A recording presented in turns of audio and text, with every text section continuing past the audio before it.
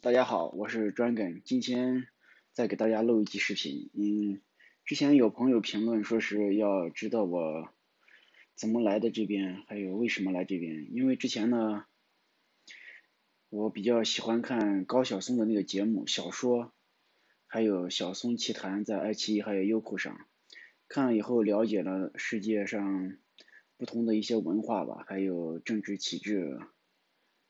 当时我最喜欢他的那一几集，就是关于讲温哥华的，加拿大温哥华的，在他在温哥华的所见所闻，看了以后我也挺有感触，包括讲美国、讲欧洲，扒一扒欧罗巴、扒一扒美利坚之类的系列，确实非常好。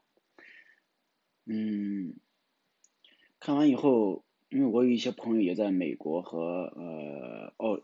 澳洲，他们有时候回国对我讲的一些东西，让我感觉还是挺震撼的。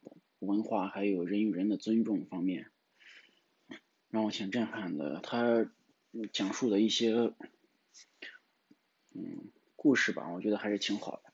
文化、政治包括都挺好的，没有一些很杂乱的破事情，以前天天给你洗脑搞运动，所以我就。选择出国嘛，嗯，到这边发现生活还是挺好的。然后关于我是怎么嗯来这边的话，我觉得现在加拿大曼省曼尼托巴省是最好移民的一个城市吧，应该说全球像凡是有嗯有真实想法的、有看清世界本质的人，可以来到这边来转一转。可以移民到这边来，包括你知道什么是真正的真善美，而不是假大空，可以过来看一看。嗯，要移民这边的话，其实也挺容易的。呃，不是移民吧，就是嗯永久居住权。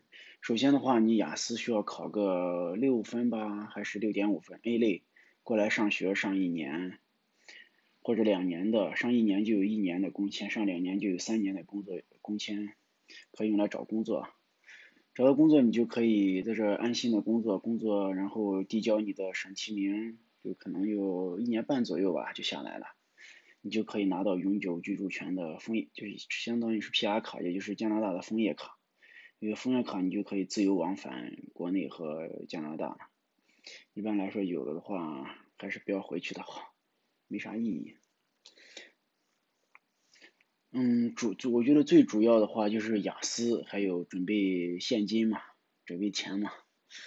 嗯，雅思的话，在国内就可以考一次两千块钱嘛，你考个两三次应该差不多就能过了。如果英语好的话，一次就过了。我呢运气比较好，只考了一次，然后就蒙过了。是考了六分，刚好够上学，在这边读那个 MIT 一个呃培训性的学校。用来就是移民的，上一年编程，然后到时候找工作移民。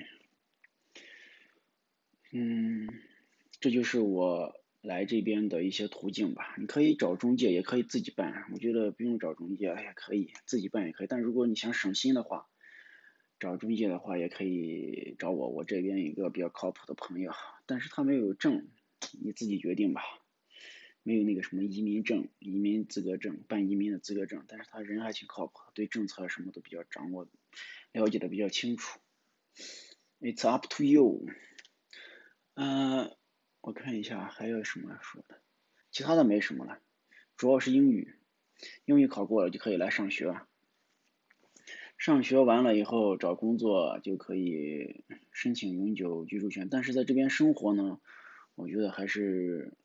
有些嗯困难，有些不容易吧，因为中国的这个人民币跟废纸一样过来，感觉五块钱等于人家一块钱，哎，换过来的钱基本上没不够不够花的根本，因为一碗面的话也要将近七十多人民币，加上小费还有税的话就七十多人民币，嗯。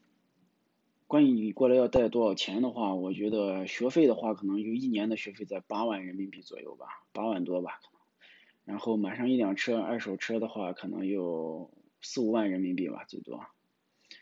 然后再加上一年的生活费，你当你你要来这边的话，要有一个 GRC 担保，要交到这边的银行，有五万一万加币吧，有五万多，然后你自己再得带个五万多的生活费吧，这是，加起来可能就是五万，二十多万吧，二十五万应该足够了。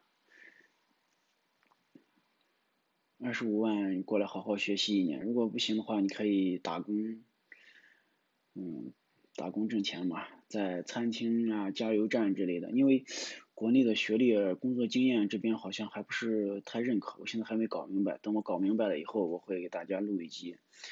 我在国内是搞那个结构设计的，到这边来说还是。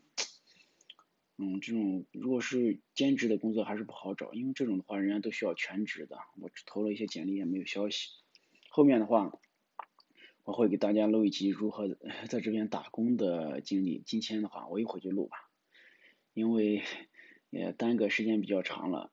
嗯，老是想在室外录，室外录这两天，嗯，一直在打工比较忙，然后风也比较大，呼呼的吹。今天又在下雨，所以就在室内给大家录了。这一集就到这里吧，Drinking out。